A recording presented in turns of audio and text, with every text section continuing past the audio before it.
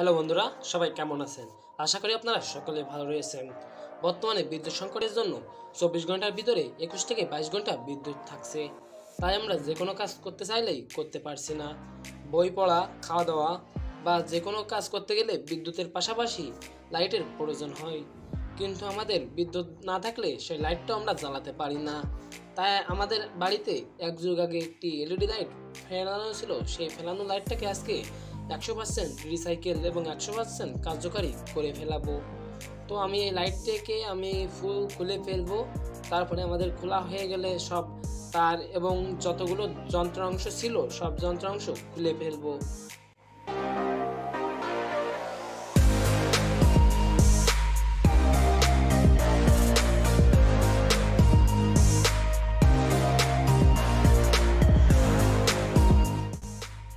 যন্ত্রাংশগুলো খুলে ফেলার সাথে সাথে আমাদের সকল নাটগুলো সংরক্ষণ করে রেখে দিতে হবে, যাতে আমাদের পরবর্তীতে এটা আবারও ব্যবহার করতে পারি।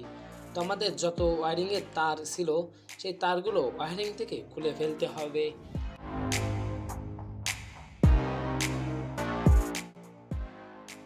এখানে এলইডি ডিফিউজটা খুলে রাখার কারণ হলো আমাদের এলইডি লাইটটা চেক করার প্রয়োজন। সেজন্য আমি ডিফিউজ এবং পিছনের যত তার এবং যন্ত্রাংশ ছিল সব কিছু খুলে নিচ্ছি।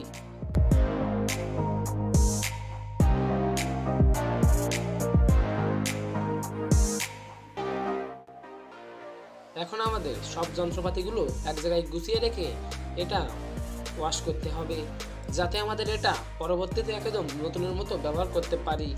এখন এটাতে অতিরিক্ত ময়লা থাকায় আমরা যে কোনো জায়গায় ব্যবহার করতে পারছি না। তাই আমরা এটা আগে ওয়াশ করে নেব। তার জন্য আমি স্বচ্ছ পানি এবং কিছু পাউডারের সাহায্যে এটা ধৌত করে নেব এবং পাউডারের পরিমাণটা একটু বেশি দিতে হবে। কেননা আমাদের প্লাস্টিকে অতিরিক্ত ময়লা এবং পুরাতন ময়লা লেগে থাকার জন্য উঠতে একটু বেশি শক্তির প্রয়োজন হবে। তাই আমাদের পাউডারটার পরিমাণ একটু বেশি দিতে হবে। এবং কিছুক্ষণ এখানে রেখে দিতে হবে। তারপরে আমাদের সব জিনিসগুলো ভালোভাবে যে কোনো কাপড় অথবা টিস্যু দিয়ে ঘষে ঘষে ময়লাগুলো তুলে ফেলতে হবে।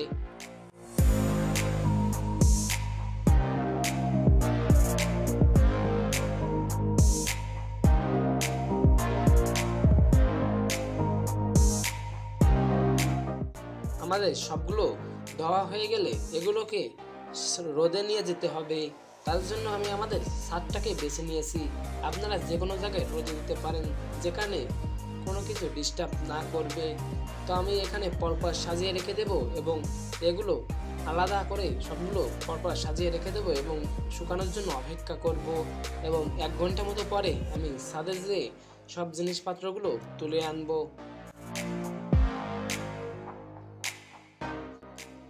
এখন আমাদের পুরো ডিভাইসগুলো একদম নতুনের মতো চকচক করছে।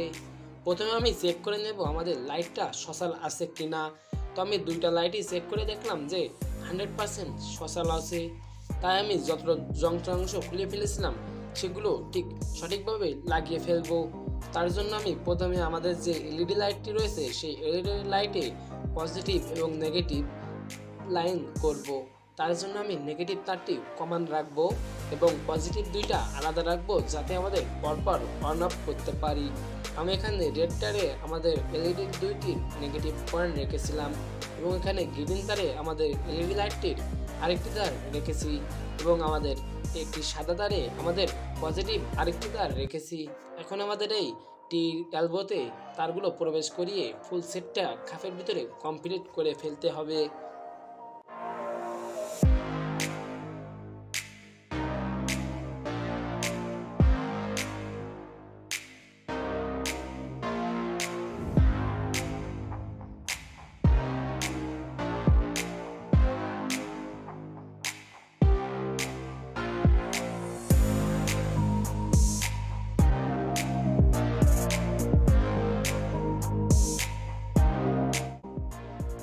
এখন আমাদের বাকি যে যন্ত্রাংশগুলো ছিল, ঠিক সঠিকভাবে লাগিয়ে সেম পদ্ধতিতে নাটটা ভালোভাবে টাইট দিয়ে লাগাতে হবে।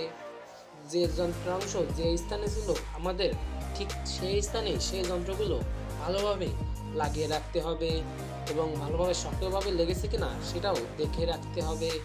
তারপরে আমাদের সাইড দিয়ে তারটি ওয়ারিংয়ের পাইপের ভিতরে প্রবেশ করিয়ে পাইপের চ্যানেল দুটি বন্ধ করে নিতে হবে।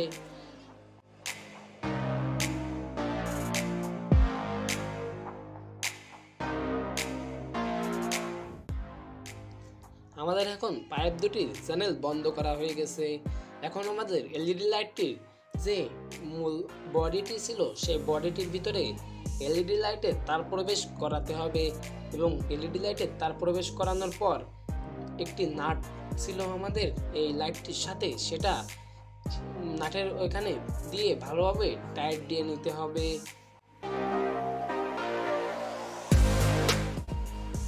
আমাদের নাটটা অবশ্যই একটু কম টাইট দিতে হবে। বেশি না টাইট দিলে আমাদের লাইটটা সহজে নিচু এবং উঁচু করা যাবে না। সেজন্য সঠিকভাবে নাটটা আমি টাইট দিয়ে নিয়েছি। এবং আমাদের সার্কিটটা আপনারা দেখতে পাচ্ছেন ঠিক এরকম। তো আমাদের সার্কিটটায় আমরা কোনো ফল্ট দেখতে পাচ্ছিলাম না। সেজন্য সার্কিটের যে তারগুলো ছিল সে তারগুলো কেটে ফেললাম। এবং এখন আমরা চেক করে দেখব যে লাইটটা সঠিকভাবে জ্বলছে কিনা। এবং আমাদের নেগেটিভ তার লাল তারটি একটি টেপ দিয়ে মার্কিং করে নিলাম যে এটা আমাদের নেগেটিভ তার এবং আমাদের সার্কিটে খুঁজতে হবে যে এলইডি লাইটের নেগেটিভ তার কোথায় হবে। আমি আমাদের এই সার্কিটের এলইডি তার এখানে হবে, সেজন্য ওখানে লাগিয়েছিলাম এবং পজিটিভ দুইটি তার। আজ যে দুটি অপশান ছিল, সেই দুটি অপশানে লাগিয়ে নিয়েছি। এখন আমাদের একটি এসি কট লাগবে। এসি কটের মাধ্যমে আমাদের ব্যাটারিটি চার্জ হবে। তার জন্য আমি একটি এসি ফিমেল পোর্ট নিলাম। এবং এসি ফিমেল পোর্টটি আমাদের সার্কিটে কানেকশন করে দিলাম। এসি সংযোগ পোর্টে।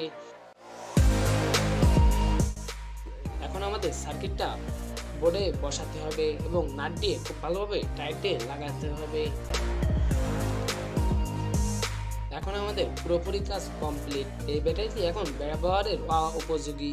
সেজন্য আমি ব্যাটারিটি বাদ দিয়ে দেব এবং আমার সংরক্ষণে থাকা অনেক ব্যাটারি রয়েছে, সেই ব্যাটারির মধ্যে থেকে পানির ব্যাটারি ছিল চারটি মতো।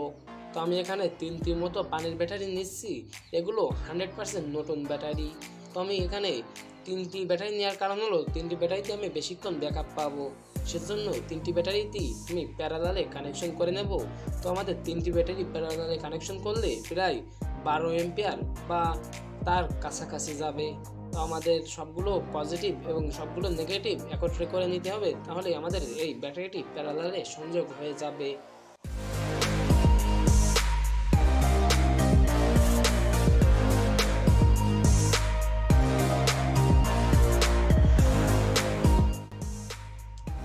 এখন আমাদের ব্যাটারিটি প্যারালালে কানেকশন দেওয়ার পালা শেষ।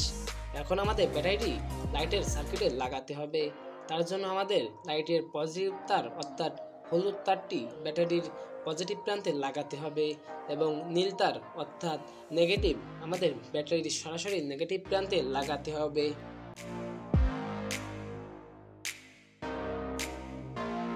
আমাদের এখন লাগানোর কাজ পুরোপুরি শেষ।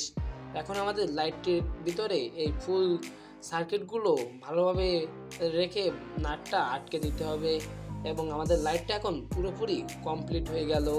তো আপনারা এভাবেই লাইটটা কমপ্লিট করে নিতে পারবেন। এখন দেখুন সুইচ দিলে আমাদের লাইটটা কত সুন্দরভাবে জ্বলতে পারছে।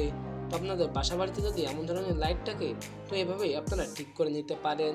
তো আপনাদের যদি সার্কিটে কোনো সমস্যা থাকে, তো আপনাদের যে সার্কিটে সমস্যা রয়েছে, সেই সার্কিটটি চেঞ্জ করে নতুন সার্কিট লাগিয়ে নিতে পারবেন। তো এখানে আপনারা এসি পোর্টের সাহায্যে এই লাইটটা সরাসরি চার্জ দিতে পারবেন। আপনাদের যাতে এসি কট নেই, তারা আপনারা ডিসি সিক্স ভোল্টের সাহায্যে সরাসরি চার্জ করে নিতে পারবেন। চার্জ হলে এখানে লাল এলইডি ইন্ডিকেট করবে এবং চার্জ ফুল হয়ে গেলে অটোমেটিক চার্জ নেওয়া বন্ধ হয়ে যাবে। এখন আপনাদের বাসায় হঠাৎ কারেন্ট চলে গেলে এই লাইটটার সাহায্যে আপনারা পড়াশুনো করতে পারবেন।